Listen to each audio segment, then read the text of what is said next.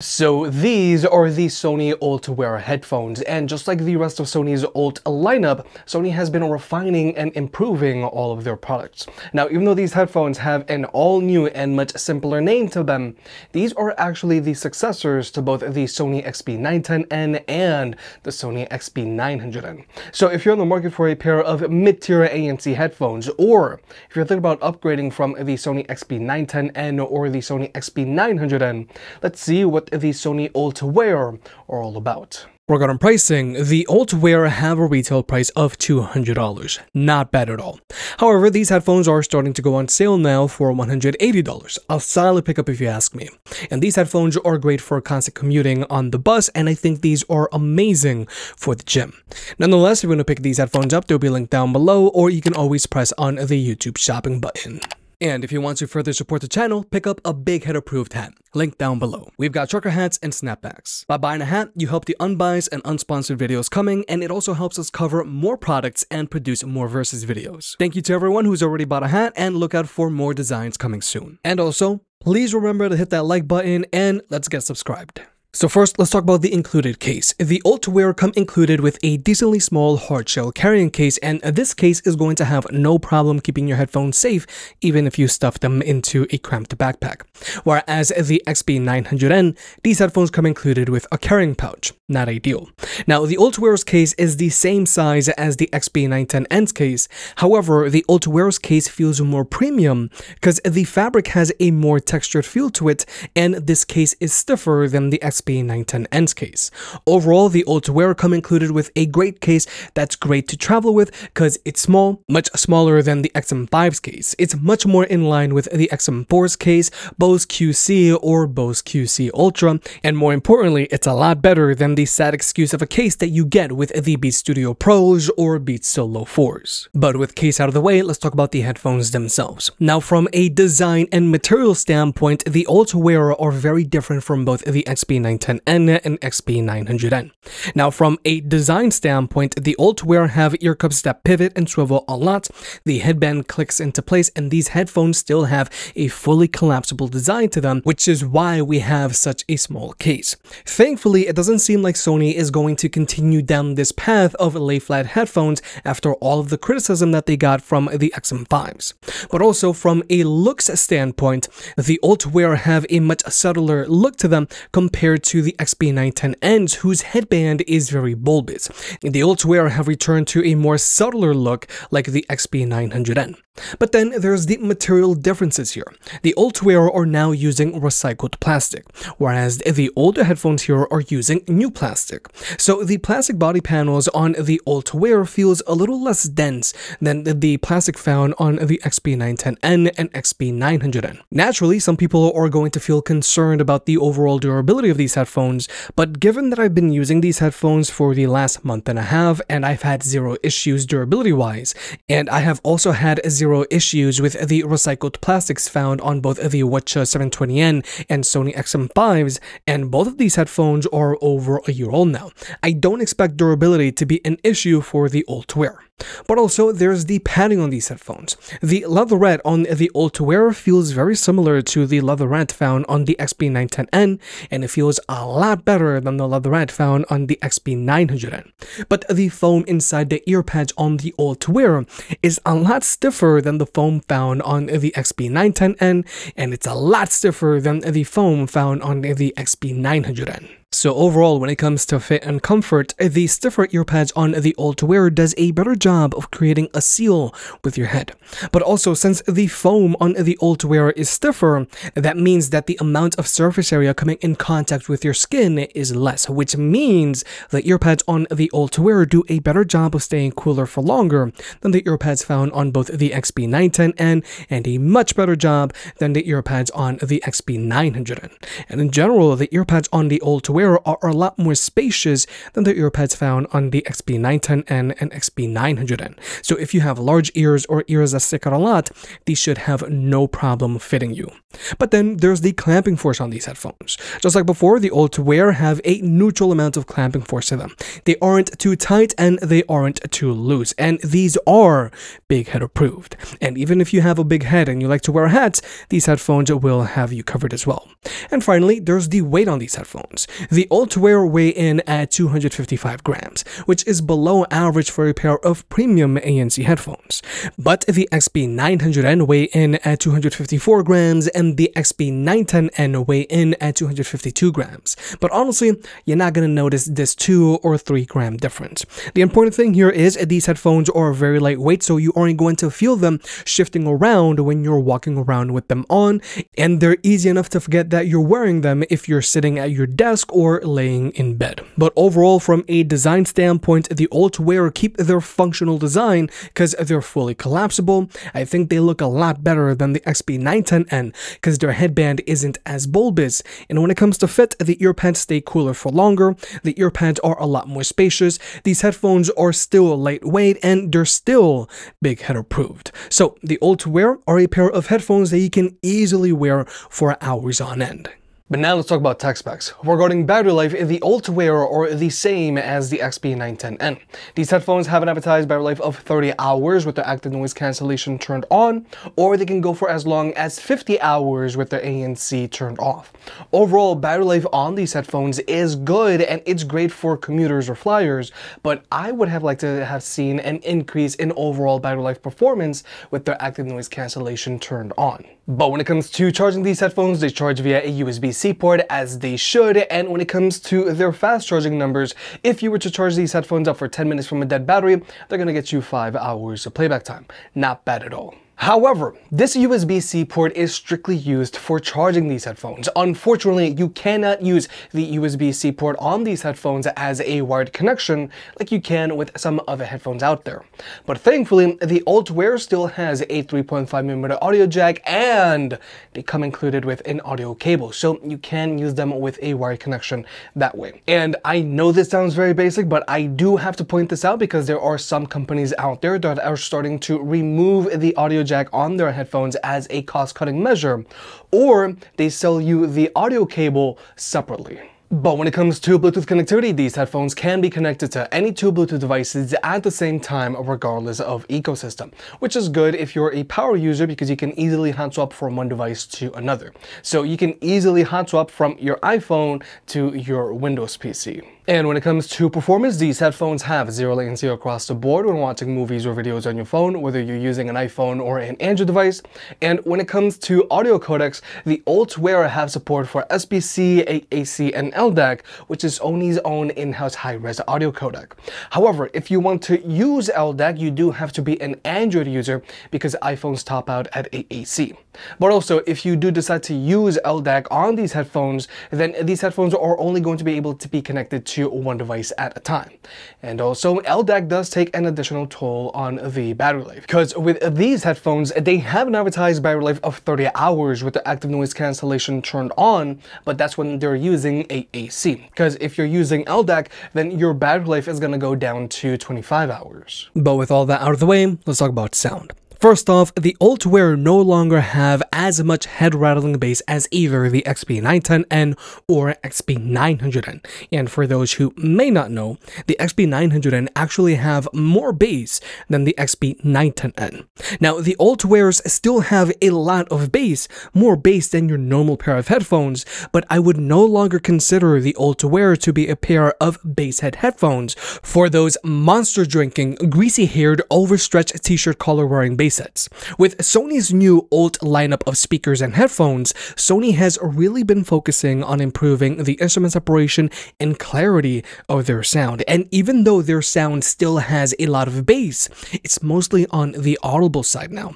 Now, even though the Ultwear no longer has the same head rattling bass as either the XB910N or XB900N, if you were to set these headphones to ULT 2 and crank the clear bass up all the way up to 10, you're still going to get some physicality out of them. But the main upgrade on the Ultwear from either the XB910N and especially the XB900N is that they sound a lot more open, they have better clarity, and even if you were to use these headphones with their bass cranked all the way up, you're still going to manage to sound balanced and the vocals are going to be very well defined as well. And even though the bass on these headphones is mostly on the audible side now, it's extremely precise and tight and bass roll off is not an issue whatsoever. So even if you have the bass on these headphones cranked up high, their bass doesn't muddy the rest of your sound.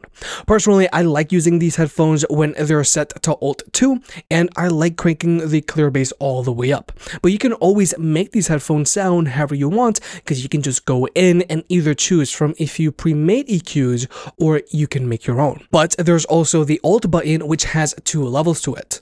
First, there's ULT 1 which is going to increase the bass of whatever EQ you're already using, but then there's ULT 2 which is going to increase the overall sound pressure of these headphones so everything is just going to sound more powerful, more intense mids and harder hitting bass.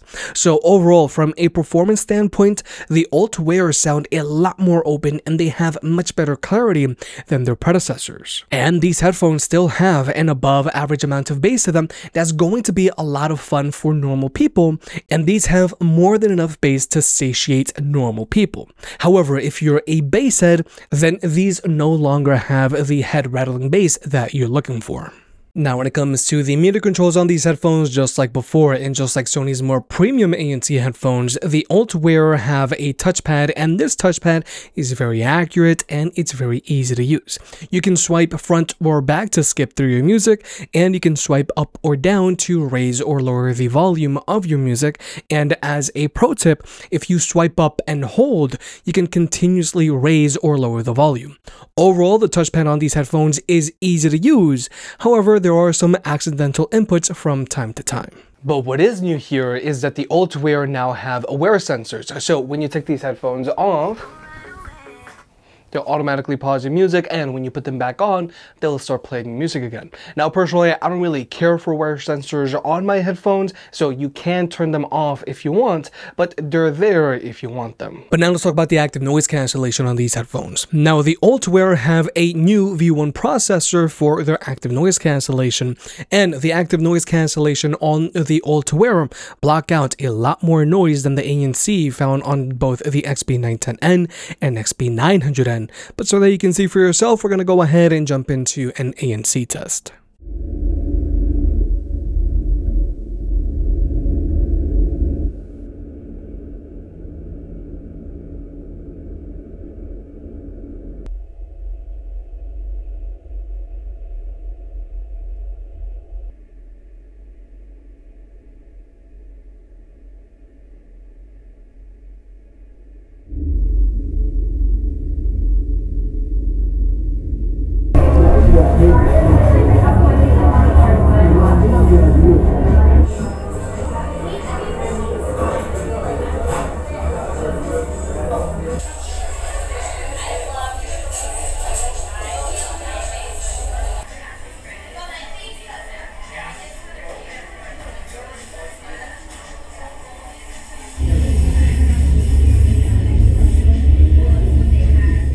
So like we have just seen, the Ultwear block out a lot more noise than both the XB910N and XB900N, which is to be expected. Now even though the Ultwear have their new V1 processor, which is helping us block out more noise than its predecessor, this V1 processor does not have an atmospheric pressure sensor in it like with either the XM4s or XM5s. So even though I feel that the ANC on these headphones is going to be great for either blocking out noise at the gym or on the bus, or in the cafeteria. If you plan on flying a lot with these headphones, they can help, but they aren't going to perform as well as Sony's more premium ANC headphones. But when it comes to overall cabin pressure on these headphones, that's not a problem, and the ANC on these headphones doesn't change how these headphones sound all that much. Overall, the Ultwear block out noticeably more noise than its predecessor, and their ANC is going to be useful for multiple situations. But also, there's the ambient mode on these headphones. Now, with the Ultwear, you can adjust how much noise these headphones let in, which is great. But my favorite thing about the ambient mode on the Ultwear is that it sounds supernatural. I actually feel that the ambient mode on the Ultwear sounds more natural than the ambient mode on the XM5s, and it almost sounds like you're not wearing headphones. Plus, I also really like the placement of the microphone array on these headphones because this microphone array does a really good job of rejecting any wind noise when you're walking outdoors. And finally, the ambient mode on these headphones is the active kind, meaning that if there's a sudden loud sound like a dog starts barking or if a police siren rolls by, then these headphones are going to automatically turn off their ambient mode and protect your hearing from just getting blasted like this. Just a major headphone warning.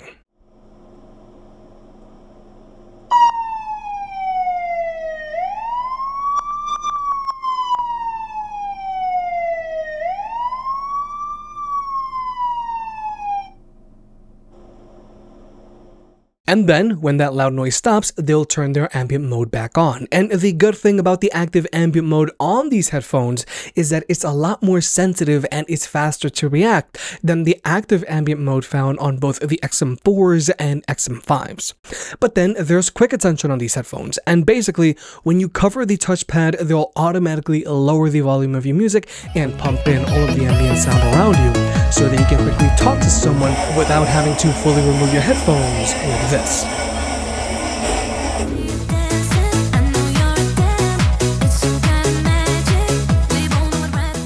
And then when you let go, the headphones will go back to normal again. Now, I love when headphones have this type of feature because it is very useful, especially if you're traveling or commuting with these headphones. But I don't like that you have to constantly have the touchpad covered because this does become uncomfortable and awkward after a while.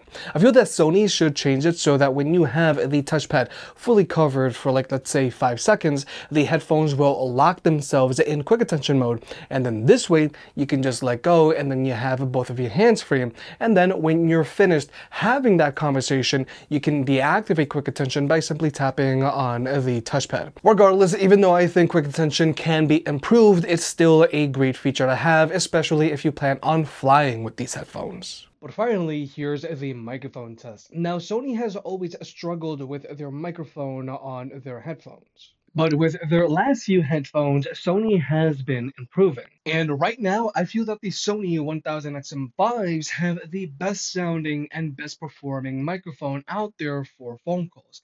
And I feel that the microphone on the Sony Ultwear sounds better than the microphone on both the XB910N and XB900N while in a quiet room.